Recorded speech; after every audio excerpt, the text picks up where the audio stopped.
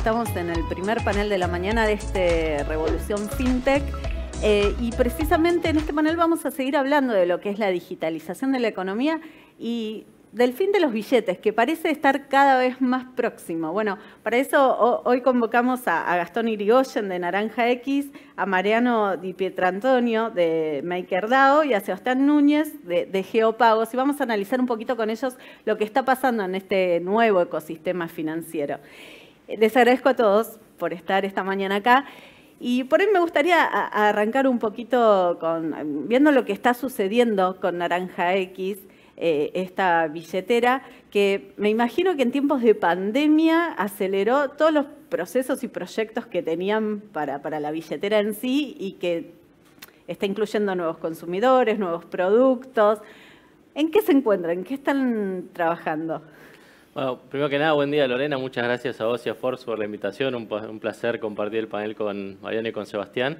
Y sí, efectivamente, la pandemia ha sido un gran catalizador para nosotros en Naranja X y creo que para toda la industria fintech este, en Argentina, en, América Latina y en el mundo.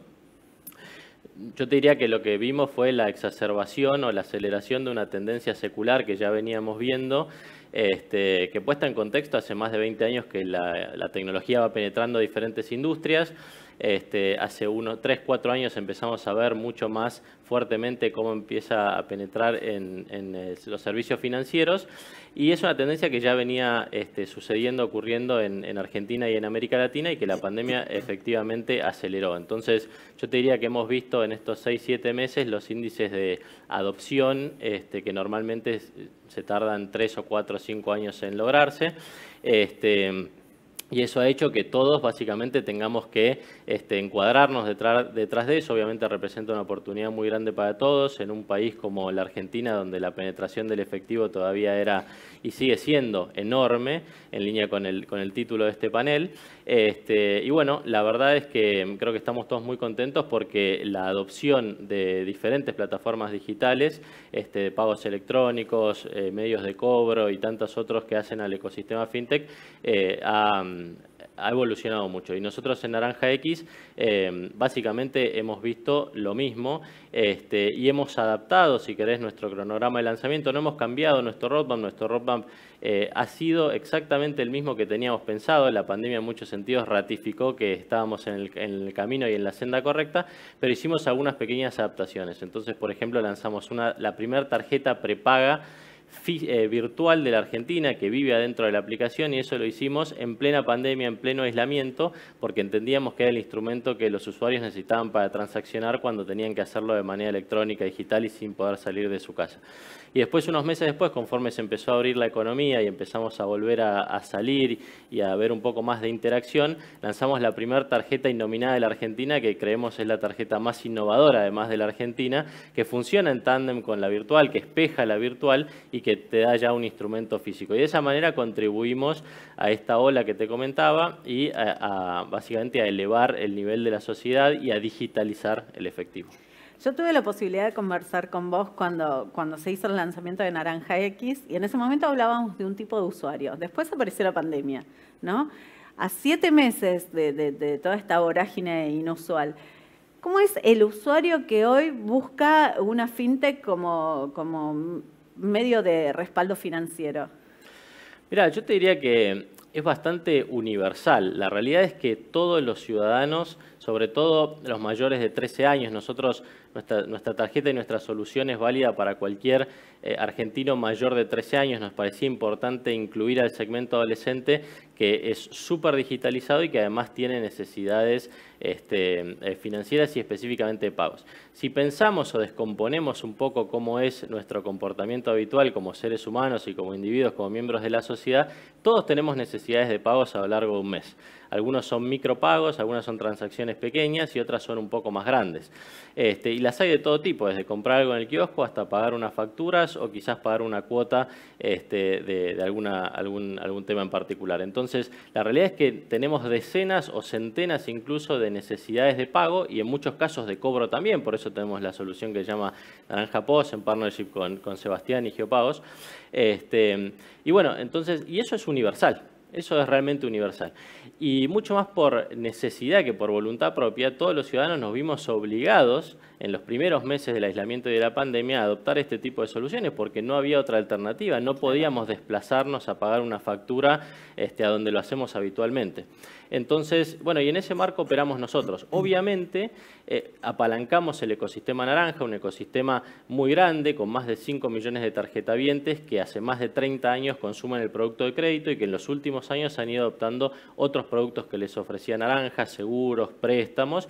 Y bueno, y ahora desde Naranja X trabajamos en seguir robusteciendo esa propuesta de valor específicamente con soluciones de pago, de cobro y de ahorro. Claro, ¿vieron un incremento durante la pandemia? Digo, a, las proyecciones que ustedes tenían de adopción. Sí, por supuesto, sin ninguna duda. Para darte algunos ejemplos, quizás el de Naranja Post, que es la solución, el dongle para poder cobrar de manera presencial o con un link de pago, que también es algo, una tendencia nueva que, que empecemos a ver durante la, pandemia, muchos comercios, eh, pymes, emprendedores que empezaban a cobrar enviando un link por mail o por WhatsApp, etcétera. En los meses de julio y agosto, para darte una idea, tuvimos la misma facturación que en los primeros seis meses del año, es decir, en dos meses la misma facturación que en seis meses. Y si vemos todo el periodo de aislamiento, tuvimos la misma facturación que, desde nuestro lanzamiento, con lo cual en, en un periodo de seis, siete meses, eh, tuvimos ya mucho más que la facturación de los primeros 15 meses de historia del Naranja Post. Entonces ahí hay un ejemplo muy claro, en este caso ya es de los cobros y no tanto de los pagos, que es lo que habitualmente hablamos, pero cada vez que hay un pagador hay un cobrador, entonces eh, creo que grafica muy bien este, este crecimiento. Totalmente. Sebastián, me imagino también que, que esto viene apalancado de la mano de las soluciones que les están ofreciendo a estos nuevos usuarios. Eh, me preguntaba si, si hay una demanda específica o determinados servicios que vos ves que son los que más se están pegando, sobre todo en la Argentina. Sí, mira, ahí, ahí complementando con Gastón y en, línea, Lorena, con lo que estás diciendo. Nosotros, a ver, para poner en contexto, somos, Geopagos es la tecnología detrás de las marcas, ¿no? Somos los que proveemos muchas de estas soluciones digitales eh, a jugadores tradicionales como bancos o a fintech como, como Naranja, Naranja X. Eh, y lo que estamos viendo, a ver, nosotros creíamos, si querés, desde hace siete años que venimos eh, tratando de evangelizar todo este proceso de pagos digitales y nos creíamos que veníamos transformando todo hasta marzo de este año, ¿no? O sea, nosotros creíamos que, que veníamos barro. De hecho, la, la industria de pagos era una, si no la más transformadora hasta marzo de este año, con ratios de crecimiento, penetraciones de soluciones de e-commerce, de contactless, eh, en los últimos dos, tres años, aperturas de mercados, ¿no? porque también tiene que ver mucho con eso, las aperturas de las adquirencias, la competitividad, la aparición de nuevos jugadores, que, que, creíamos que venía a un ritmo tremendo hasta que en marzo nos dimos cuenta que eso no era nada al lado de lo que pasó desde marzo hasta acá. ¿no? Entonces, ahí como decía Gastón, fue un catalizador, yo lo llamo, para mí fue un anabólico que creó, este, si querés, nos aceleró, nos llevó a ir a una velocidad tres o cuatro veces más, más fuerte a la que veníamos acostumbrados. Eh, sin duda, dentro de lo que es este proceso, hubo cambios sustanciales en donde si bien nosotros tenemos un ecosistema con múltiples soluciones que van desde el mobile post hasta el e-commerce, hasta soluciones de onboarding, de procesamiento o mismo billeteras, marca blanca siempre estamos hablando, eh, sin duda hubo eh, algunas soluciones que realmente se transformaron o tuvimos que acelerar más que antes, como todo lo que tiene que ver con el e-commerce, por ejemplo.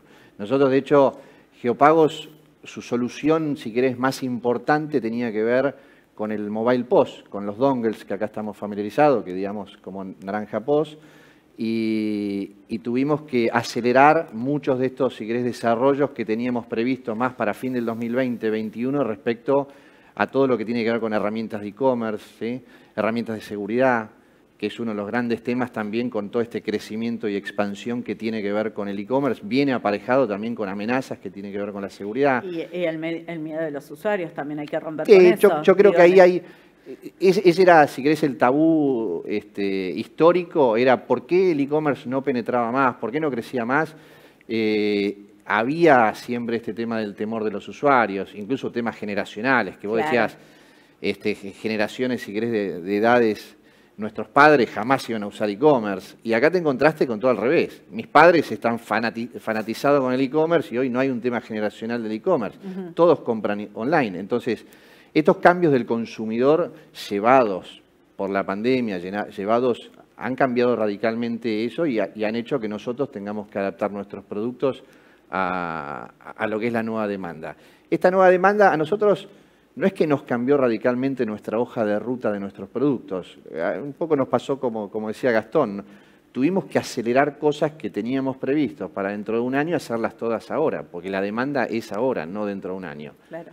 ¿Mm? Claro, me imagino igual que debe haber sido un cimbronazo. 20 de marzo se activa la cuarentena, empezás a ver después al mes las colas de jubilados, que lo digital empieza a avanzar fuerte y tenés que poner a todos los equipos a laburar fuertemente en las soluciones que ya tenías y, pensar a futuro, ¿no? ¿Cómo, cómo fue ese proceso? Sí, ahí te complemento, no es solo la parte de producto. Vos ten en cuenta que el 20 de marzo, un domingo, nos encontramos a partir de mañana nadie a trabajar, o sea, con lo cual primero tuviste que adaptar tu organización también, porque desde el punto de vista todos de trabajar en la oficina pasamos a trabajar de la noche a la mañana en nuestras casas, así que ahí hay todo también un modelo de gestión, de cómo realmente organizás a tu equipo, o sea, las primeras dos, tres semanas fue un poco acomodarse a cómo vendrá ¿no? el tema. Entonces, este, te diría que cuando vos ves nuestros números, eh, las primeras dos, tres semanas incluso fueron de parate, eh, porque nuestros clientes a su vez también estaban viendo a ver qué pasaba con sus clientes finales, ¿no? Entonces, hasta que después me parece que fue, si querés, las primeras semanas de abril empezó a darse vuelta, entonces lo que era una situación bastante, si querés, de incertidumbre pasó a ser un una situación de, oportunidad y, de oportunidad creciente, porque nos empezamos a dar cuenta que hubo estos cambios radicales que empezaron a despertar la necesidad de, soluciones inmediatas. Yo tengo grabado el tema de las colas de los jubilados en, aquel, aquel día que, y la verdad que ahí dijimos, tenemos que, o sea, la solución pasa por los productos que nosotros hacemos en definitiva, para traer soluciones a algo tan delicado que era un tema incluso sanitario, porque hoy teníamos a jubilados haciendo colas, ¿te acordás en la madrugada aquellos días? Así que, eh, sin duda, digamos, ese ciclo, y después nos empezamos a adaptar y después incluso empezás a, agarrarle forma a todo este modelo de gestión eh, remoto, y te diría que hoy trabajamos muy bien. Y recién veníamos hablando con Gastón, hasta dónde el formato de volver a la oficina con los equipos cuando ya también te estás adaptando bien a este modelo. Así que bueno, es un momento interesante, tremendamente desafiante y de mucho cambio. ¿no? Sí, yo siempre digo que la pandemia hizo lo que años de marketing no pudieron hacer con respecto a, a la economía digital. ¿Cómo entran en juego las cripto? Porque, digo, una vez que los usuarios empiezan a familiarizarse con todo lo que es el mundo digital de las finanzas, también, digo, más allá del interés que había, pero que por ahí estaba acotado a cierto segmento que venía siguiendo el mundo cripto, debe haber despertado el interés de nuevos usuarios. Sí, la verdad que sí, muchísimo. Me, quedo con algo que decía Gastón de las personas a partir de los 13 años, eh, que, es un segmento que tiene necesidades, ¿no? y nosotros lo estamos viendo mucho, por ejemplo, en el tema del, gaming. ¿no? Eh, el gaming a nivel regional, vos cuando vas a jugar un videojuego, no solamente jugás contra argentinos o con argentinos, jugás a nivel regional, con brasileños, con colombianos, con mexicanos, con chilenos, con uruguayos. Eh, y todos ellos están como en una comunidad donde también tienen necesidades de pago y de cobro. No solamente el hecho de comprar activos dentro de un videojuego, sino inclusive también recibir pagos de persona a persona. Entonces, con, con DAI lo que estamos viendo es que se está generando una economía regional, eh, en donde en sí la moneda nacional tiene el uso de cuando vos realmente lo querés callear, a, tu cuenta, ¿no? En donde ahí está lo que nosotros llamamos un poco la última milla, ¿no? Que son aplicaciones como Naranja X o como, eh, digamos, Mercado Pago u otras billeteras digitales, eh, en donde los usuarios, bueno, a nivel, digamos, eh, en, la nube, por así decirlo, transan con un valor, ¿sí? Y después, cuando están, digamos, más para transar en operaciones que son a nivel país, lo, lo transforman, ¿no? Algo que, que, que me gusta a mí decir, así como meter una analogía, es que el mundo de las cripto en realidad eh, ahora se está fijando más que nada en lo que es eh, el ingrediente, ¿no? en ser la comida eh, y, todas las otras aplicaciones, ¿no? todas las que son billeteras digitales y medios de pago, son en realidad la presentación y el plato, ¿no? que hacen todas investigaciones de UX, investigaciones de cómo es que se comportan los usuarios cuando en los momentos de verdad y experiencia. ¿no? pero bueno, el tema que ahora cripto lo que trae es precisamente una innovación que a ver, nosotros el dinero lo venimos entendiendo de la misma forma desde hace 1500 años. ahora con cripto eh, lo que nos da es la posibilidad de decir, bueno, tenemos un, nuevo tipo de activo que puede ser eh, un activo financiero y a su vez también puede ser eh, utilizado como dinero. entonces, a medida que va avanzando ¿no? todas las diferentes investigaciones, los diferentes desarrollos, tanto mobile como desktop, algunos pueden preferir usarlo como dinero, otros lo prefieren solamente como una forma de ahorro, como un activo de ahorro, y después directamente en su país cuando tienen necesidades de, pago de cobro eh, locales, hacen el cambio. Claro. ¿Te puedo contar, para, eh, que, me, que, me, cuentes en realidad, para los que no están tan familiarizados con, lo que tiene que ver con el ecosistema DAI, qué, qué es y, y, por qué tiene tantas virtudes con respecto a otras criptos? Sí, DAI es Primero que nada, eh, en la jerga se le dice stablecoin, ¿sí? o moneda estable, que en realidad el nombre viene de que, bueno, cripto tiene este estigma ¿no? de la supervolatilidad intradiaria, eh, pero que bueno, con el tema de las monedas estables eso está mitigado, ¿no? Siempre el precio está cercano a un dólar, eh, es transferible de persona a persona, no hay bordes, yo le puedo mandar a Gastón o a, Seba a cualquier parte del mundo y lo reciben instantáneamente, sin intermediarios, y eso es una característica que es pero muy appealing para, para un montón de personas ¿no? que, necesitan transar valor. Eh, digamos, a ver, bueno, nombré el mundo del gaming como uno, que es clave, pero por ejemplo el tema de remesas internacionales, ¿no?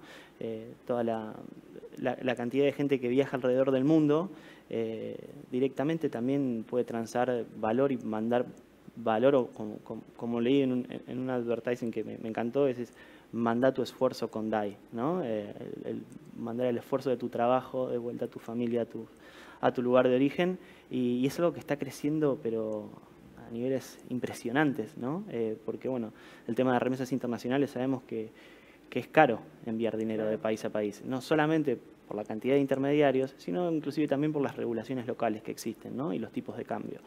Eh, entonces, esta cuestión de que vos tengas en DAI un valor, digamos, como atado al dólar, que lo pasás de persona a persona, ¿sí? Eh, que lo recibe instantáneamente, eh, y que nadie te puede prohibir enviarlo, ni recibirlo, ni comprarlo, eh, creo que, es una forma de, hacer un, o de tener una opción ¿sí? que, antes no existía. ¿no? Y poquito a poquito creo que va a ir ganando terreno eh, y va a tener su lugar en el mundo de, lo que es la fintech, ¿no? más mainstream, digamos.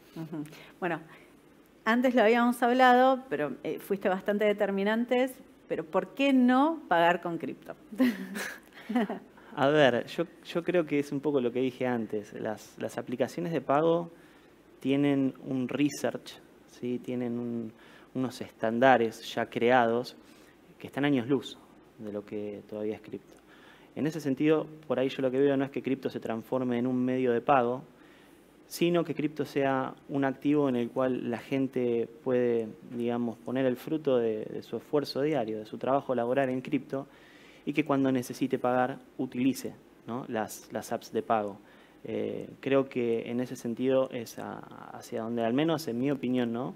Eh, el ecosistema de cripto tiene que desarrollarse, en hacer fuerte el asset, eh, en, que la adopción sea a través de hacer crecer la torta ¿no? Eh, y, que esté implementada en todas, las en todas las tarjetas, en todas las aplicaciones, porque no nos olvidemos que cripto en ese sentido es una tecnología que es implementable, ¿no? o sea, la puede poner cual, como así, vamos a hacer un ejemplo, puedes tener un FCI dentro de una aplicación como sistema de ahorro, vos puedes implementar perfectamente la compra y venta de cripto como una forma de ahorro también eh, y darle una opción más a tus clientes eh, como, como, parte del abanico de servicio. ¿no? Totalmente.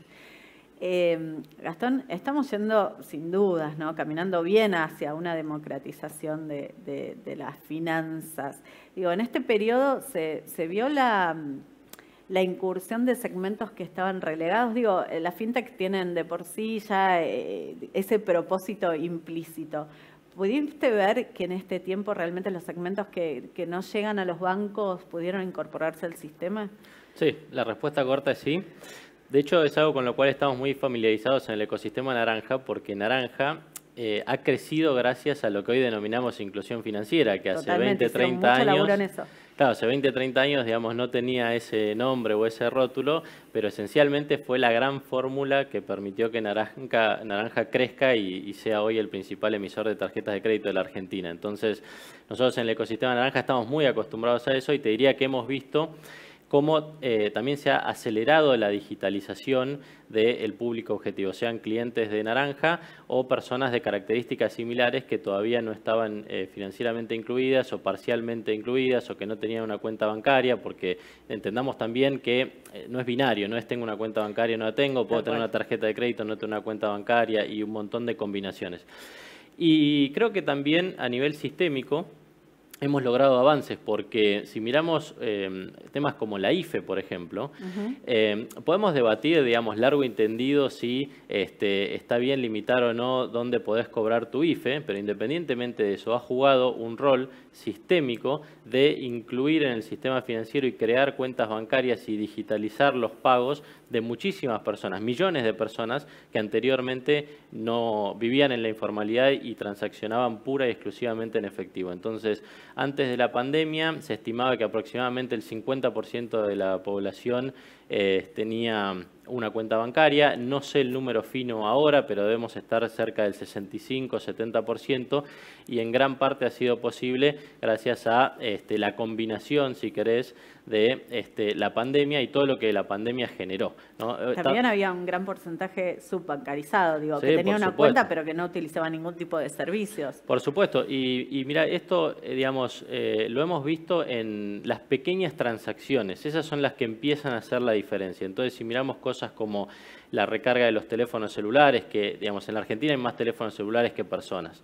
Eh, y esos teléfonos, la gran mayoría del parque de teléfonos celulares en la Argentina, por suerte hoy son smartphones, más allá de que todavía puede mejorar mucho la tecnología, la memoria, este, la conectividad, etcétera, son smartphones y eso te da acceso a Internet, te da acceso a aplicaciones eh, como las que estamos comentando y te permite también hacer estos pequeños pagos cotidianos como puede ser recargar el celular, para quienes tienen que desplazarse a trabajar por la, por la razón que sea en transporte público, este, te permite recargar la tarjeta de transporte público, pagar los servicios, enviarle dinero a una persona o recibir de esa persona, si sos un comercio poder cobrar, etcétera. Entonces, en esas pequeñas transacciones es donde empiezan los grandes cambios de comportamiento. Eh, y esto que describíamos de cripto es esencialmente lo mismo, porque porque también vivimos en, un país que ha tenido mucho revuelo estos últimos meses con el tema del ahorro, los dólares y demás, y mucha gente ha encontrado un refugio en las stablecoins o en cripto en general. Entonces, eh, son estas pequeñas em, cosas cotidianas las que empiezan a generar estos grandes cambios en cada persona individualmente y en todos como un colectivo. ¿no? Entonces, se trata de ir incorporando pequeños hábitos y la sumatoria de esos pequeños hábitos después hacen a un gran cambio sistémico. Sí, se supone que la tendencia es pandemia, vacuna, eh, vida normal, es que siga incrementándose, ¿no? Porque ya la evangelización, digo, ya no es solo una cuestión de educación financiera, ya vino a la fuerza. Sí, creo que está bueno el... La necesidad. no, y creo que está buenísimo el título de este panel, si eso no es el fin del efectivo. Y creo que todos acá, después está bueno escuchar qué, opina el resto, pero todos creemos que digamos, no es el fin del efectivo, pero es claramente una reducción en el uso del efectivo, así como también un incremento en el uso de billeteras virtuales o de bancos digitales o de tantas otras soluciones electrónicas digitales y demás. Pues estos son procesos, son procesos que tardan años, probablemente tarden décadas. Entonces da la sensación que en la Argentina y en América Latina en general no estamos yendo, pero sobre todo ya estamos viviendo un escenario donde hay efectivo que está de salida, está en disminución, pero que todavía tiene un share y una penetración, este, y es realmente un hábito muy eh, incorporado en la gente pero empezamos a ver muchos más pagos electrónicos con tarjeta. Nosotros creemos sinceramente que las tarjetas, y sobre todo las tarjetas contactless, que no quiere decir que sea necesariamente el plástico, porque después la tarjeta puede vivir en el teléfono y se va a poder pagar con el teléfono, con el reloj, etcétera, etcétera, pero el concepto de la tarjeta, sea de débito, sea de crédito, sea prepago, y sobre todo el contactless y el NFC, Creemos que va a ser el gran ganador hacia adelante y que su share va a crecer increíblemente. Nosotros por eso mismo lanzamos la tarjeta innominada, prepaga, contactless en partnership con Visa, que es eh, la marca más, con más capilaridad del mundo. Y después, evidentemente, el QR que ha ido ganando su lugar este, en algunos pagos y algunos cobros en la Argentina y en Latinoamérica. Entonces estamos claramente en un escenario, digamos, con, tres medios, por decirlo de alguna manera, tres grandes medios de pago, y bueno, veremos cómo evolucionan hacia adelante. Claramente el efectivo va a ir reduciendo su share, su participación de mercado, creemos que las tarjetas lo va a aumentar y veremos también qué sucede con el QR, donde también hay muchas iniciativas sistémicas en la Argentina alrededor de eso. Claro. Sebastián, ¿vos coincidís en esto? Sí, sí, este sí, Estamos, estamos todos de la manito en el mismo barco en esto, este, creo. que cuando hablamos incluso de, independientemente del rol que yo, nosotros con Gastón a nivel partnership o incluso si fuésemos competidores, digo, la competencia es el efectivo, ¿no? O sea, apartamos de un poco del título, digamos, de, esta, de este foro, ¿no? Eh, básicamente todavía, si bien se han hecho pasos importantes, el recorrido es enorme el que queda, ¿no? O sea, para, algunas cifras, digamos, en términos especialmente a nivel Latinoamérica. Nosotros antes de la pandemia, o sea, tengamos en cuenta que más del 80% de las transacciones siguen siendo en efectivo, ¿no? O sea, lo que se ha logrado acá en estos últimos meses es una aceleración enorme y sin duda se ganaron varios puntos. Pero cada punto que se le gana al efectivo es un impacto en las economías tremendo, ¿no? En términos de, no sé, de pasar de economía informal a la formal, el, impacto que tiene en, lo, cuando hablamos de la pobreza este, es, muy importante, así que, digamos, todos deberíamos estar enfocados a ese, a ese gran, gran objetivo. Entonces, em, y ese gran objetivo, me parece que hoy, hoy se están dando las condiciones, la, pandemia lo que hizo fue acelerar todo esto y, los números están, las tecnologías están, cada vez hay más nivel de competencia, porque ese es otro de los grandes temas de los múltiples jugadores que aparecen en un mercado donde si querés en el ejemplo de Argentina, vos tenías hasta hace dos, tres años, acá en Argentina había dos redes, si querés que aceptaban pagos, una de Visa, una de Mastercard, y vos tenías 500.000 comercios estables y no se movía básicamente, no había innovación. Hoy, en dos años después, tenemos más de dos millones de comercios, este, si querés, hoy que aceptan distintos tipos de pagos. Y una competencia que es fenomenal y muy importante en el punto de venta, porque lo que hace básicamente es crear un, mercado de donde se bajan los costos y se, y se aumentan las posibilidades para los consumidores. Y ese número debería ir, si querés, tres o cuatro veces arriba, ¿no? En los próximos años, por así decirlo. También un poco hay, ahí hay una pelea también que es el, comercio en negro, digamos. Ah, es un gran punto el tuyo. Es la, la gran, el gran desafío es la informalidad. Y, ahí es donde dio, ahí por ahí, complementando lo de Gastón y por ahí poniendo otro ingrediente en esto, es, o sea, hoy podemos poner las tecnologías que querramos en el, en el mercado, podemos poner toda la competencia del mundo, pero ¿Cómo hacemos para desincentivar el, efectivo? Si vos sos, o sea, partamos de esa premisa, ¿no? Y eso tiene que ver con una discusión mucho más amplia, que tiene que ver con el impacto impositivo. O sea, cuando hablamos los costos de las tarjetas en el punto de venta y el comerciante tiene esa motivación a descontar 10% si vas en... y bueno, ahí hay todo un tema de informalidad de por medio, el impacto de los impuestos. Y hay casos muy interesantes, no, no te hablo del, si querés, en el primer mundo, sino en la región en términos de, leyes de inclusión financiera realmente integrales, donde se, ha incentivado y realmente y desincentivado a su vez el uso de efectivo. Pues básicamente es cómo haces para alguien el efectivo, que es de uso, o sea, tiene cero costo para el consumidor y, entra bajo el radar de la informalidad para que vía todas las soluciones tecnológicas que pongamos, esa informalidad pase al mundo formal. Ese es el gran desafío y llegar a un punto donde en vez de tener esta relación de 80-20 podamos tener una relación de 50-50. O sea, a mí me parece espectacular esto de poner el aspiracional de la eliminación del efectivo, pero hay un camino muy interesante a recorrer, digamos, este, y cada punto que se le gana al efectivo es tremendamente impacto, digamos, en lo que es las economías. ¿no? Ahí para sumar, yo creo que hay dos o tres puntos que son muy importantes, que son del lado de los consumidores, está, digamos, este mito de que transaccionar en efectivo es más económico, es más barato, porque a veces vas a un comercio y te hace un descuento. La realidad es que, en parte por la competencia, pero en parte también por el intento sistémico de generar adopción, lo que empezamos a ver es que, por ejemplo, si me limito a las billeteras virtuales, pero también sucede con los bancos, empieza a haber como un ecosistema, más allá de, los productos que obviamente tienen muchas bondades y suponen una mucha mejor experiencia y te permiten hacer cosas que antes no podías hacer, como por ejemplo eso, cargar tu celular a las 12 de la noche ¿viste? Eh, desde el sillón de tu casa.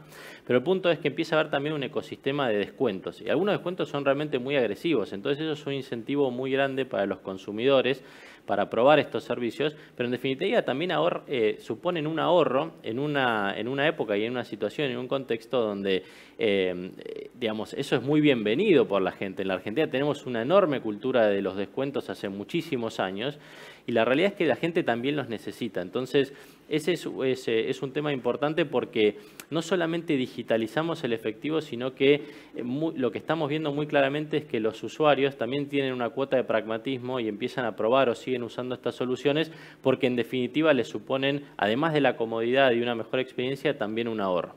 Si te vas del lado de los comercios, lo que empieza a suceder también es que muchas veces se enfrentan ante la disyuntiva de cobrar con tarjeta o simplemente perder la venta.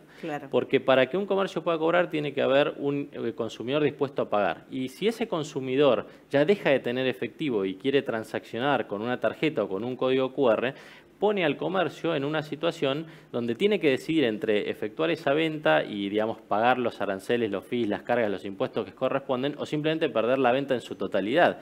Y entonces eso también, e independientemente de cualquier regulación o legislación que pueda haber, es un incentivo para los comercios a aceptar eh, pagos y va cambiando un poco la tendencia. Y para rematar, lo interesante del caso que hemos visto durante la pandemia es que los nuevos usuarios digitales, sean pagadores o cobradores, el 90 23% está conforme o muy conforme con estas soluciones.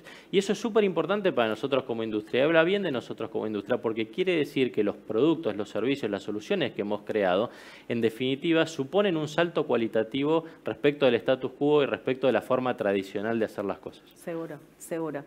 Eh, y Mariano, ¿Qué recomendarías? Yo siento que cripto es un pasito más para toda esta gente que, está ingresando hacia un mercado digitalizado. ¿Cómo recomendás eh, ingresar en el mundo cripto? ¿no? ¿A partir de dónde? ¿Qué bases? ¿En qué me apoyo?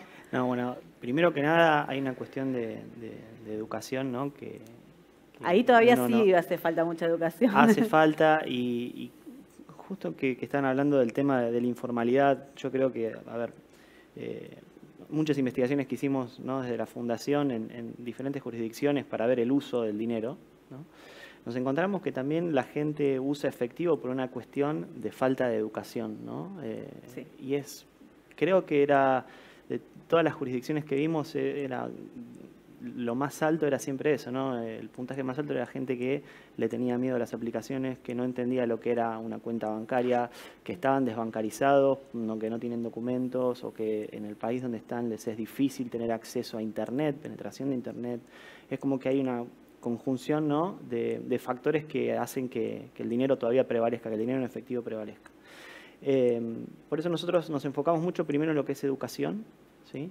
Eh, creemos que en ese punto se puede hacer muchísimo. Eh, y es un poco el onboarding que nosotros tenemos, ¿no? de todos los partners que tenemos en la región, nos ayudamos mucho en, empujar temas de educación financiera. ¿sí? Eh, cualquiera de, los exchanges que, hoy comercian DAI eh, tienen su apartado, su universidad cripto, vendríamos a decirle, en donde vas a entender un poco primero esto de qué es cripto, ¿no? Que, que, no viene a reemplazar a nada, sino que te viene a ayudar a vos en, en, ese sentido, ¿no? de decir, bueno, mira, yo puedo ahorrar en, un activo que es inconfiscable, que puedo transarlo, comprar y venderlo libremente. Eh, y, ahí es cuando los usuarios tienen como un clic, ¿no? Tienen ese, ese clic en donde entienden cuál es la posición de cripto, entienden cuál es la posición del efectivo y entienden cuál es la posición de valores digitales como pueden ser en una billetera virtual, ¿no? Y, cuando entienden un poco, digamos, esa, esa trinidad, eh, ahí es donde se empiezan a, a, desarrollar nuevos casos de uso, donde empieza bueno, a tener también una, una adopción más amplia. Sí, seguramente. Y también más libertad sobre sus finanzas y, capacidad de, decisión. A mí siempre lo que me interesa es también que el mundo cripto se empiece a integrar en esto que tiene que ver con la digitalización de las finanzas y que no sea solo para un nicho de personas. Bueno, yo les agradezco a los tres por haber participado de este panel y al resto los invito a seguir con Revolución FinTech.